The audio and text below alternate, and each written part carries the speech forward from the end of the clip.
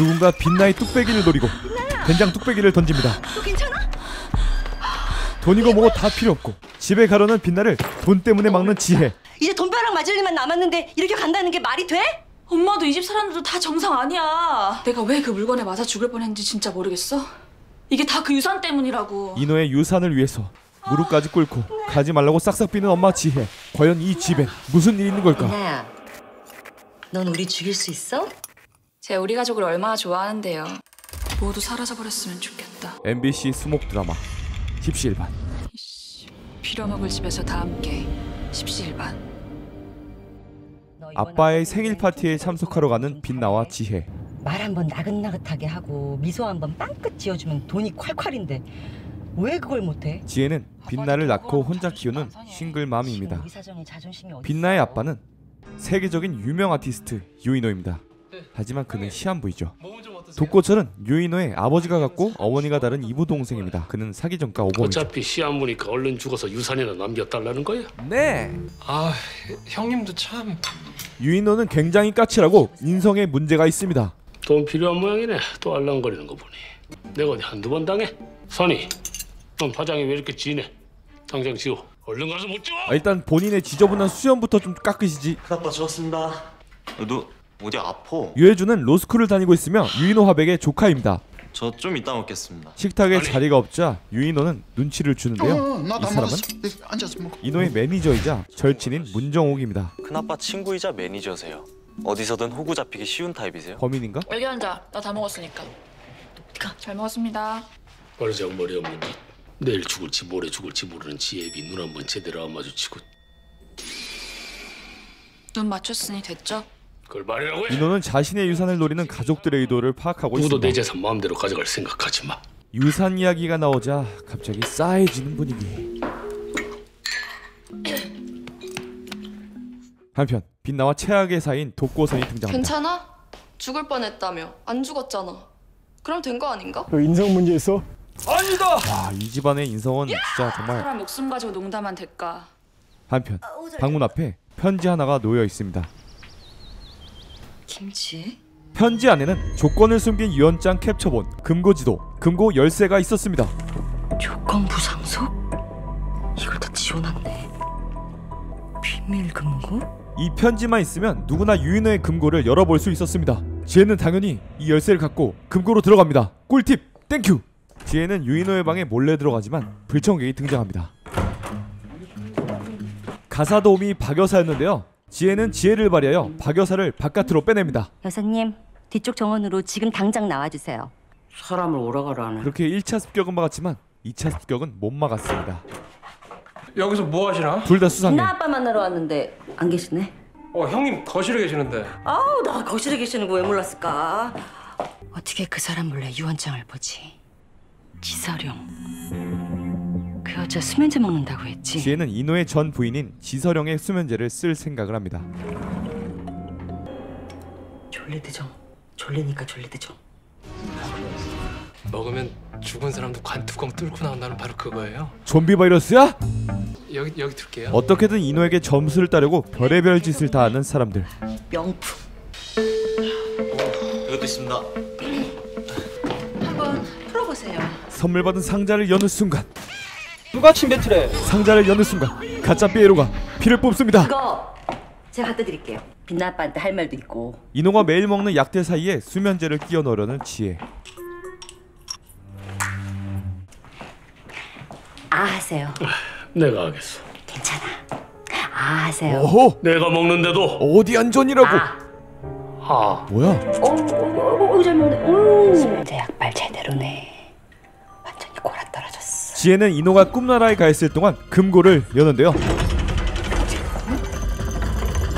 그곳은 역시나 금고가 딱!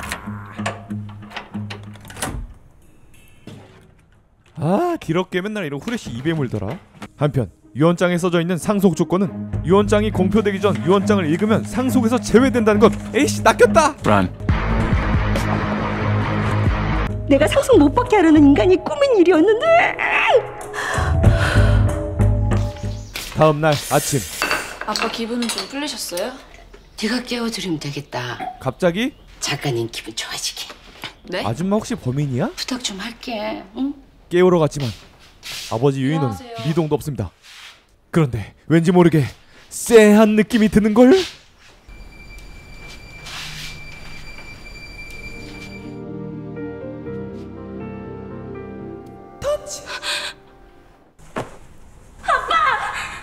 이노가 갑작스럽게 죽었습니다. 가족들은 동요하기 시작합니다. 어제 내가 먹인 수면제 때문은 아니겠지. 1초 만에 태세 전환. 어제 내가 저 사람한테 먹인 게 수면제가 아니라면 이 모든 일이 저 여자가 꾸민 일이라면 지혜는 편지부터 수면제까지 모든 걸 전부인 서령이 꾸몄다고 생각 중입니다. 주사 자국이네. 아니 주사 자국이 왜 있죠? 어젯밤 유인호 씨 방에서 어떤 소리도 못 들었습니까? 그 방에는 방음 장치가 돼 있어요. 어젯밤에 분명히 누가 복도 돌아다니는 소리를 들은 것 같은데 형수가 그걸 못 들었단 말이에요? 저는 수면제를 먹고 자서 많은 사람들이 공통적으로 한밤중에 발소리를 들었다고 합니다. 저도 듣긴 들었습니다. 부검하실 거죠? 아, 안 돼! 라는 표정의 가족들. 그럴 이유라도 있는 겁니까? 입술에 청색증. 간호학과인 빛나는 그건 독극물 입술을 반응이에요. 보고 사망 원인을 예측합니다. 아빠는 병 때문에 돌아가신 게 아닐 수도 있어요. 수면제 맞는지 확인 좀 해주세요. 맞네요. 수면제. 수면제 맞아요? 지혜가 준 약은 수면제가 맞군요.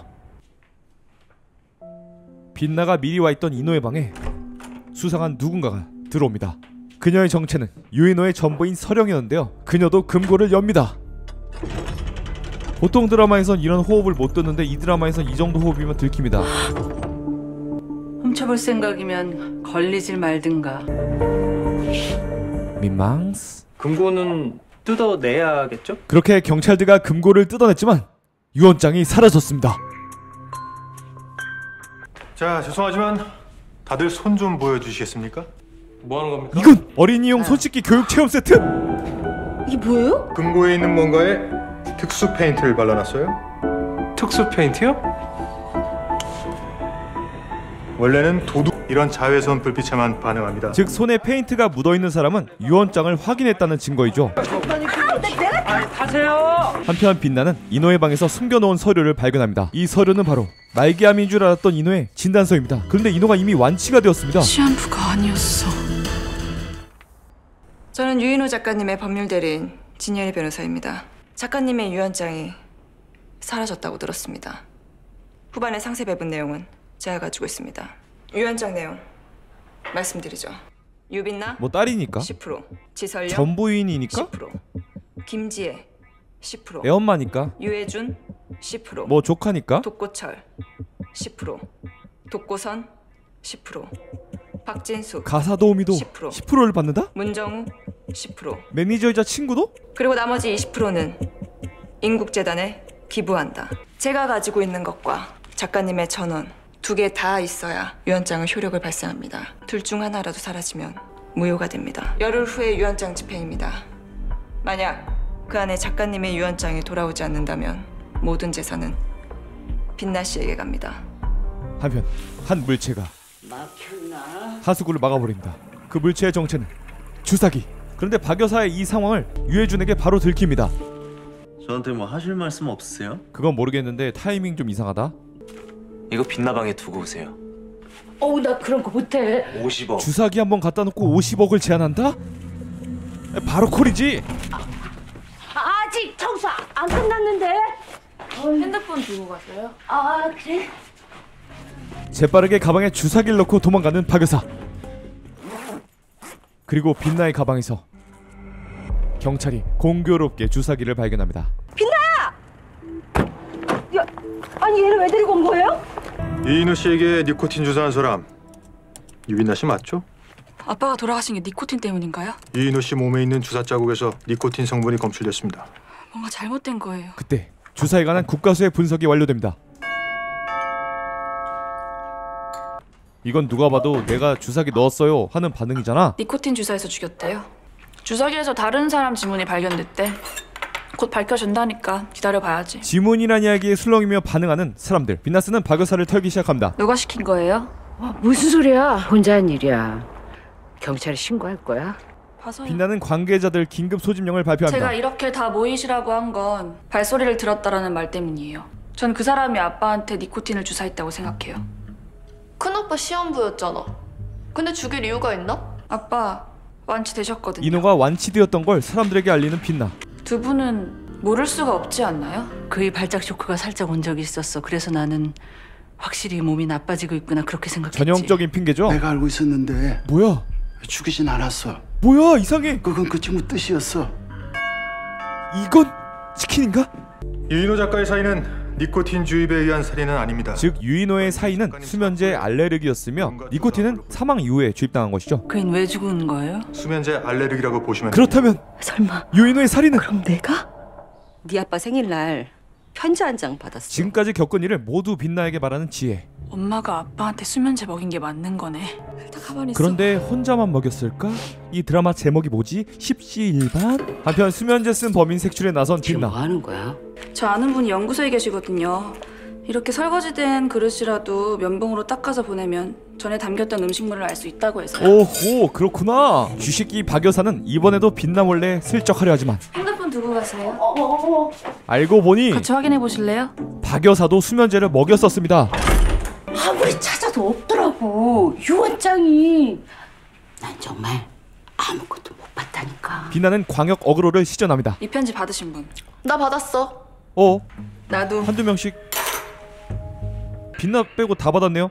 문정욱도 수면제를 탔어. 인호에게 수면제를 탄 홍차를 먹였습니다. 금고에서 유언장 보셨어요? 그런데 문정욱도 유언장은 못 봤다고 합니다. 그날 밤 또다시 빛나에게 큰 사고가 일어납니다.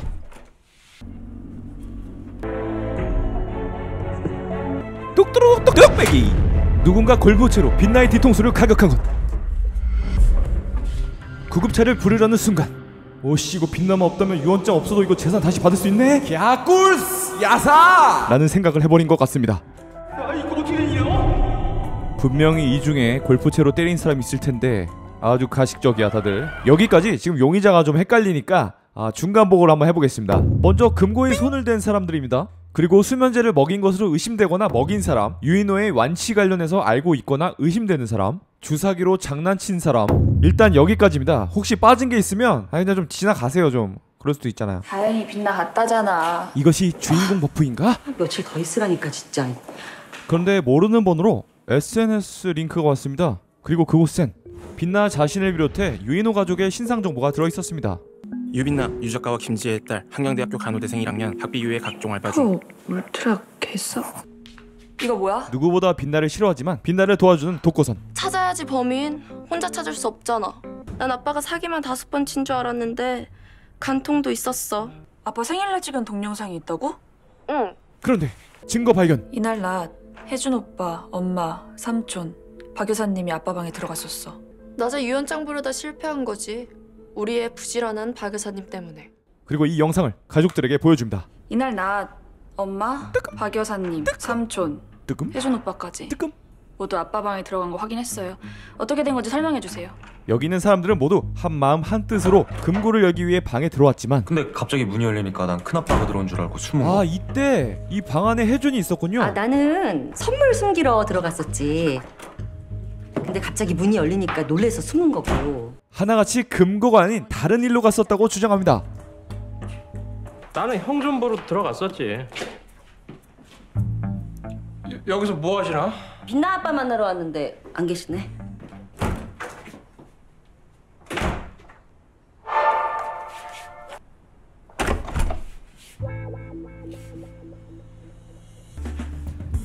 뻘쭘스. 그럼 제일 먼저 들어간 사람은? 혜준 오빠. 너네 엄마 들어가기 전에 혹시 본 거 아니야? 아, 아니야. 손에 아무것도 안 묻었잖아. 아, 그렇지. 그 양말도 하나 제대로 못. 그런데 유해준의 양말에서 핏자국을 발견한 박 여사. 다른 대로 말 못해? 저 아니에요. 저 목격자예요. 범인으로 몰릴까봐 도망친 거고요. 우리 경찰에 넘기죠. 그럴 수 없을걸요? 그 순간 뭐? 그럴 수 없어? 엄마가 아빠한테 수면제 먹인 게 만든 거네. 충격이야. 난 아빠가 사기만 다섯 번 친 줄 알았는데 간통도 있었어. 아 언제 죽나? 얼 죽어버리지. 와 사람들을 도청한 거야?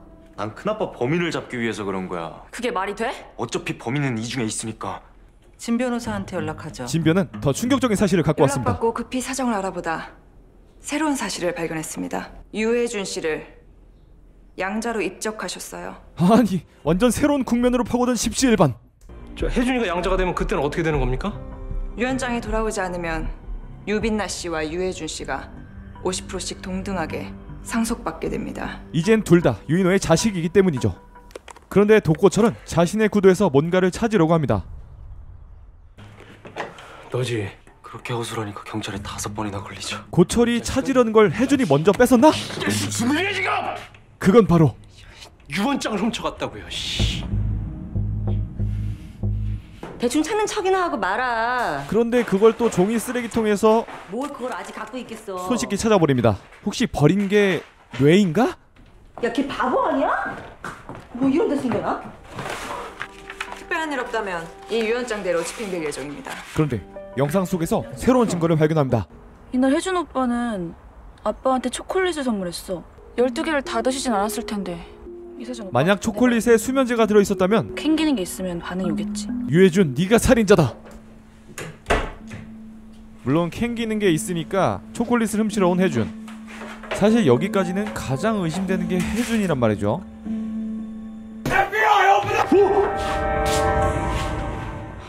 몇 번을 말해. 그 유럽에서 직구한 거야. 그럼 먹어봐. 아 초콜릿에 뭐가 들어있던 게 아니었군요 됐지?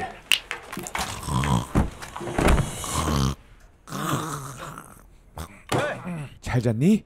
드시고 남은 초콜릿 여기 있습니다. 재미있는 제보 하나 하죠. 그렇게 자신도 체포된 겸 자신이 녹음했던 녹음본까지 공개해서 다섯 명을 체포시켜 버립니다 그런데 잠을 자고 있는 빛나에게 의미심장하게 지서령이 다가옵니다 혹시 범인이세요?